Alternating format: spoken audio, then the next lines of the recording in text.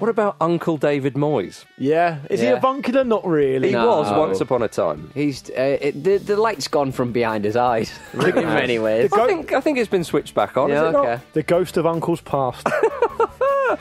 Yeah, um, Moyes described his uh, his own appointment at West Ham as a good gamble.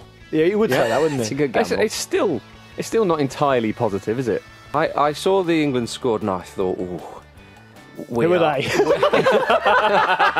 a, there's a lot of bears in here. oh, it was, I saw the England squad and thought I recognise at least half of them. God, it, honestly, it looks like the sort of squad you might get like after Armageddon. Yeah, Do you know I I- mean? When there's barely anyone left. There's, thought it's he been is- like a Black Death in Europe. Yeah. When, I when, thought he when is- Stalin's son had to reconstruct the uh, hockey team, the ice hockey I team. thought he is playing the under 17. I was only joking, Gareth.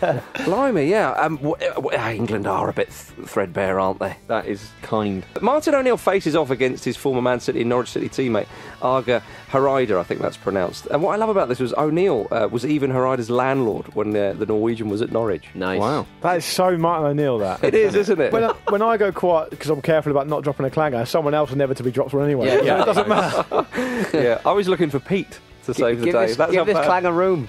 I didn't mention Nobby, and that's the main thing. That is the main Do thing. you, fa- do you fancy um, the, uh, the, the the Kiwis to get something then? I don't. I think Peru. No, I think it's Peru's time. but Peter, what about you? You you torn because you know presumably you've got some Kiwi friends because I know you like to keep it international, but you love Nobby Solano and you want to see him at the World Cup. My sister lived in Kiwi, uh, in Kiwi, in uh, Peru for quite a long time. In Peru? Yeah. Oh, so you're all Did out she for live in Peru? Peru? Yeah, she was going out with, a, she got out with a, a Peruvian chap. Nobby Solano? it was no Nobby Solano, but yeah, let's leave that one there.